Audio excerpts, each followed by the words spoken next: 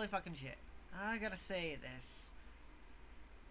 Unless the city or the province actually does something to further restrict that spread of that virus, it's really gonna cause a lot, be a lot of cause and concern for just about everyone.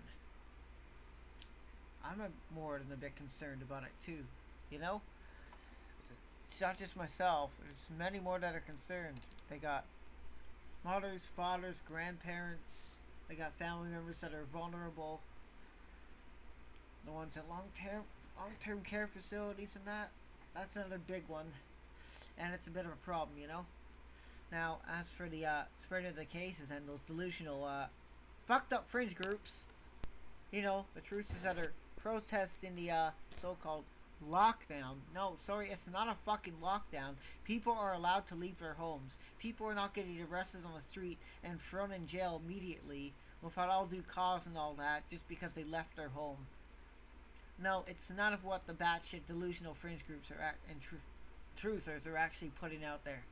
That's not happening. The government is not harassing people like that. They assume it's like a dangerous, insidious organization. It's not. And then again, they also deny scientific proof that COVID-19 is a pandemic. And pandemics cannot be fucking planned out. They keep putting out that misinformation, and I'm, quite frank, to be very, very fucking sick of it. I'm very sick of it, seeing that bullshit being spread around, because it's nothing but bullshit! A pandemic is a pandemic. It was declared in March by the World Health Organization, and because of how fucking fast that virus spread. And if nobody's gonna take it seriously, it's gonna keep spreading. It's gonna keep going everywhere. You gotta take this shit seriously. It's not a fucking joke. Come on, be rational here. It's not a scam or a plan. The virus, the, it, the virus fucking exists, alright? It's a novel, unknown coronavirus.